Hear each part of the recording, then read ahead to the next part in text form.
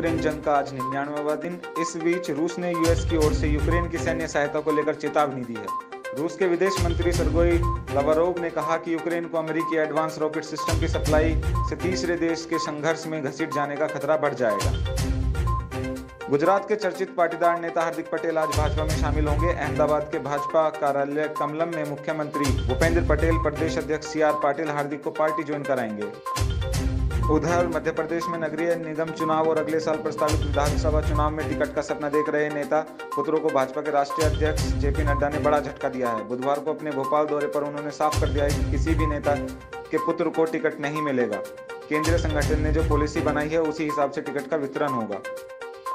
पूर्व deputy CM Sachin Pilot ने राजस्थान में बीजेपी राज के दौरान कांग्रेस के विपक्ष में रहते हुए भ्रष्टाचार के आरोपों पर अब तक कोई एक्शन नहीं लेने के लेकर गहलोत सरकार पर सवाल उठाए हैं। पायलट ने बीजेपी सरकार के समय हुए भ्रष्टाचार और उसमें आरोपी नेताओं के खिलाफ कार्रवाई नहीं होने पर खुलकर नाराज़गी जताई और कार्रवाई करने की मांग की।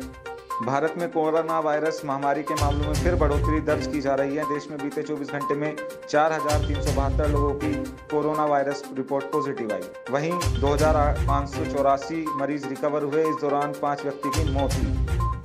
दुनिया भर में कोरोना वायरस के मामले बढ़कर तिरपन करोड़ पैंतीस लाख हो गए हैं। इस महामारी से अब तक कुल तिरसठ लाख से ज़्यादा लोगों की मौत हो चुकी है, जबकि ग्यारह दशमलव आठ तीन अरब से ज़्यादा लोगों का वैक्सीनेशन हुआ है। यह आंकड़े जॉन्स हॉपकिंस यूनिवर्सिटी ने साझा किए। हॉलीवुड के मशहूर एक्टर जानी डेप और उनकी पूर्व पत्नी अंबर हार्ट के खिलाफ चल रहे मानहानि केस में वर्जीनिया की एक अदालत ने फैसला सुनाया। छह हफ़्ते तक चले इस मुकदमे में जोनी डेप की जीत हुई। डेप को हर जाने के तौर पर 15 मिलियन डॉलर, यानी कि करीब 116 करोड़ रुपए का मुआवजा मिलेगा। फ्रेंच ओपन में मैन सिंगल्स में कैस्पर रूड सेमीफाइनल में पहुँच गए हैं। वे पहली बार किसी ग्रैंड स्लम के सेमीफाइनल में प्रवेश करने वाले खिलाड़ी बने वहीं विमेन सिंगल्स में वर्ल्ड नंबर एक इगा स्वेटेक भी सेमीफाइनल में पहुँच गई हैं। खेले गए क्वार्टर फाइनल मुकाबले में रूड ने होलगर रून को छः एक, चार छः सात छः छः तीन से हराया।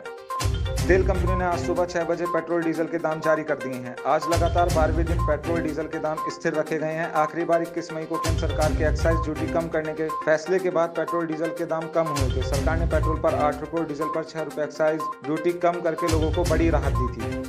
सेंसेक्स और निफ्टी हफ़्ते के चौथे कारोबारी दिन गुरुवार को मामूली बढ़त के साथ खुले। सेंसेक्स एक सौ इकहत्तर दशमलव ज़ीरो चार पॉइंट या ज़ीरो दशमलव तीन एक परसेंट की गिरावट के साथ पचपन हज़ार दो सौ दस दशमलव एक तीन और निफ्टी अट्ठावन दशमलव नौ ज़ीरो पॉइंट या ज़ीरो दशमलव छत्तीस परसेंट की गिरकर सोलह हज़ार चार सौ तिरसठ दशमलव नब्बे पर खुला।